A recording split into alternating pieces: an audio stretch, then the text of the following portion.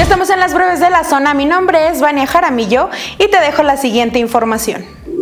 Una llamada filtrada entre el diputado Ernesto Prieto y una militante de San Miguel de Allende dejó en evidencia un boicot organizado por el líder del grupo parlamentario de Morena contra la secretaria general del partido, Alma Alcaraz Hernández. En una llamada de aproximadamente 16 minutos, Ernesto Prieto asegura que Alcaraz Hernández es una traidora e intenta convencer a un grupo de consejeros municipales de San Miguel de Allende de que le retiren el apoyo a la secretaria general del partido. El legislador Ernesto Prieto reconoció la veracidad de esta llamada y aseguró que no está haciendo nada ilícito y que únicamente se trató de una forma de hacer política. Esto para mí es una cuestión personal. Eh, yo creo que cualquiera eh, le choca que a una persona en la que confiaste, en la que apoyaste, te traicione, te dé la espalda, sea ingrata.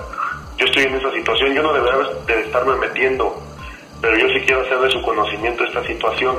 Yo estoy acá, la verdad, pues en una posición más privilegiada, con más margen de acción eh, mi señor padre va a ser subsecretario de Estado en próximos días.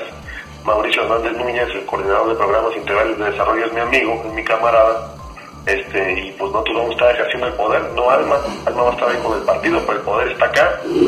Para mantener las estancias infantiles y evitar más cierres, empresarios de León aportarán 750 pesos al mes por empleado para el cuidado de sus hijos en estos lugares. El presidente del Consejo Coordinador Empresarial de León, José Arturo Sánchez Castellanos, informó que el cierre de estancias ya impactó en la productividad de los trabajadores por ausentismo, retardos y permisos especiales. En León, de 152 estancias, ya cerraron 20, por lo que hay alrededor de 2.000 niños que se desconoce el mecanismo de cuidado y educación que están llevando.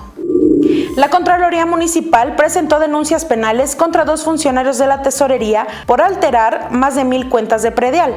El titular del órgano de control, Leopoldo Jiménez Soto, anunció el inicio del procedimiento, luego de detectar que dos auxiliares administrativos de la Dirección de Impuestos Inmobiliarios manipularon las cuentas catastrales para beneficiar sobre todo a empresas por medio de personas físicas como resultado de revisiones que ha hecho el tesorero municipal, este, se tuvo por ahí este, la, noticia, el hallazgo de un par de servidores públicos que de forma desleal y en perjuicio del municipio.